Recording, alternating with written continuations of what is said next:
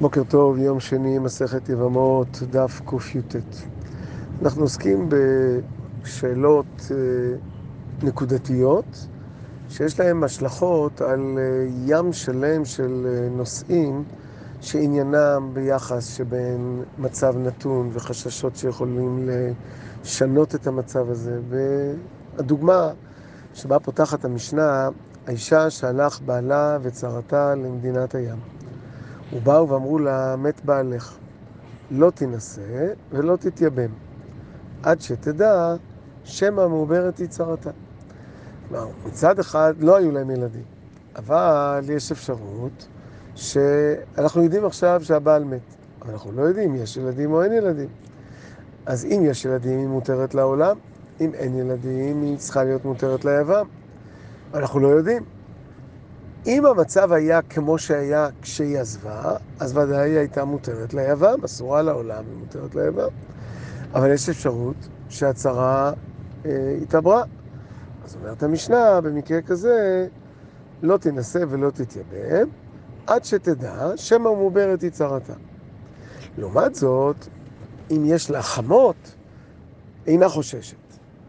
לכאורה, הסיכוי שייוולד ילד לחמות וממילא יצריך אותה ייבום, זהה לסיכוי שייוולד ילד להצהרה ויאסור אותה להתייבם. אז למה כאן אנחנו חוששים וכאן אנחנו לא חוששים? אומר רש"י, הסיבה מאוד פשוטה. אצל עיבור של צרה, מה שהיא לא תעבר, היא אה, יפתור מייבום, בין אם זה בן, בין אם זה בת. אבל אצל חמות, הרי 50 אחוז שגם אם, מי אמר בכלל שהיא התעברה? אם היא התעברה, 50 אחוז שהיא תלד אה, בת. בת אה, לא מחייבת אה, ייבום, אז ממילא אנחנו לא חוששים לזה. כך בירש.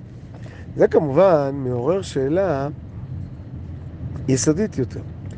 האם בכלל, כאשר אישה, אה, לא ידענו אה, אם יש לה אחים, לא שמענו אף פעם על אחים, אבל גם לא שמענו שאין אחים.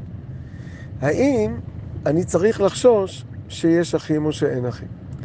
לכאורה, מפשט דברי המשנה, משמע, שאפילו הייתה לה חמות אינה חוששת, ואם כן, הוא הדין בכל מקרה, שבו אני לא יודע אם יש אח או אין אח, אני לא אמור לחשוש.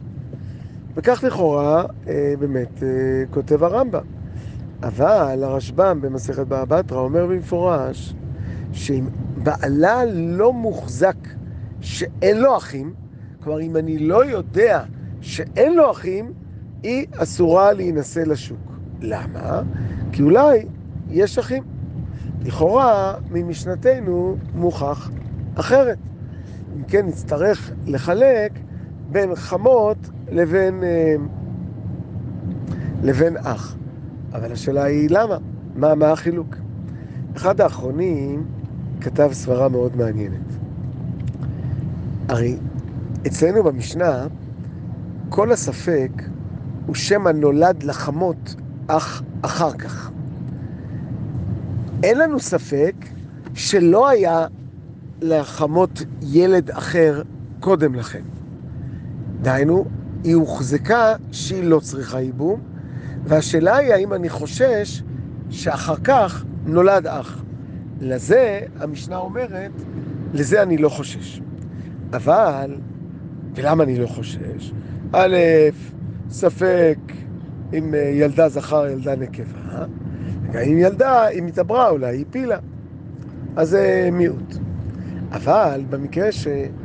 אה, של השאלה אם יש אח או אין אח, הרי אנחנו מתלבטים לא על ספק עתידי, אלא אנחנו מתלבטים על ספק אם זה קרה. זה כבר ספק על העבר. זה לא רק ספק על מה שיקרה, האם זה יקרה בעתיד. בספק על העבר, האם זה כבר קרה או לא קרה, זה דומה לדיני קבוע, וזה אם כן מחצה על מחצה, ואם כן ממילא יש לחשוש לזה.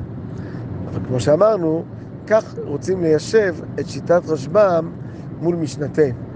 אבל באמת, מפשטות הרמב"ם והשולחן ערוך, משמע שאנחנו לא חוששים לדבר הזה. שלום שלום ובוקר טוב.